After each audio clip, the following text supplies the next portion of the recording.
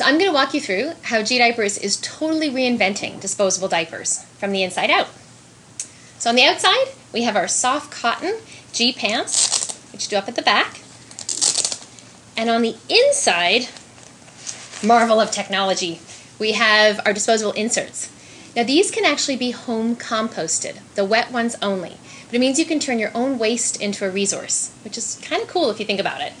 Um, cradle to cradle means that everything that goes into the making of this product gets reabsorbed back into the earth in a neutral or beneficial way. When home composted, wet ones only. No poopy diapers in your backyard. So what can you do with the poopy ones? Flush them down the toilet. So flushing is one of our big features. Um, you need to follow the directions, but this entire pad can be safely flushed. Um, what I know I personally loved about it was just getting the smell and the dirty diaper all out of the house. No more diaper genie, no more garbage. Um, love that aspect. Um, of course, you can always throw them in the garbage. Just to be clear, though, nothing biodegrades in landfill. Um, the Cradle to Cradle certification, though, does also cover everything from social fairness to water stewardship, what goes into the making of the product. So you can feel good about the upstream, but again, nothing biodegrades in landfill. So how that works is you simply just put the disposable insert into our snap-in pouch, just like this. Now the pouch itself is made of G-Breathe fabric.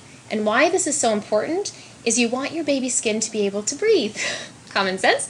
Um, if you ask any pediatrician about diaper rash, they'll always give you the advice to let your baby air out, meaning don't wear a diaper for a while. But with our G Breathe fabric, they're airing out 24 7. It's waterproof and breathable and washable, of course. The reason that it snaps in and snaps out, though, is all around the parent's convenience.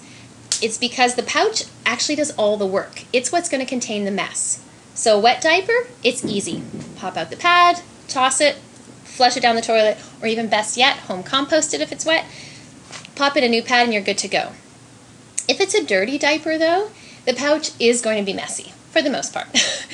so what you need to do is just take it out. You can give it a quick wash, um, hand wash in the sink, and you can use it again that same day. Otherwise, just throw it in with your regular laundry is fine.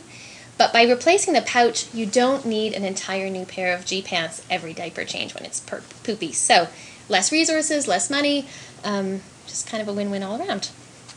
Uh, the other features is that, as I said, they do up the back to keep little hands at bay.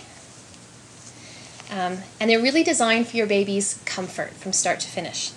So that's it. That's a gDiaper. Hope you like them.